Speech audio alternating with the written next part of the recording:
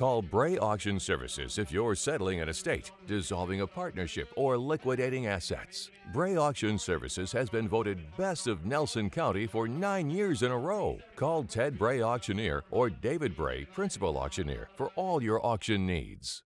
Call Ted Bray of Kentucky Choice Realty if you're thinking of buying or selling real estate. Ted Bray resides in Nelson County with his wife Colleen and their three children. Ted Bray of Kentucky Choice Realty has been voted Best of Nelson County consistently since 2011. Make Kentucky Choice Realty your first choice.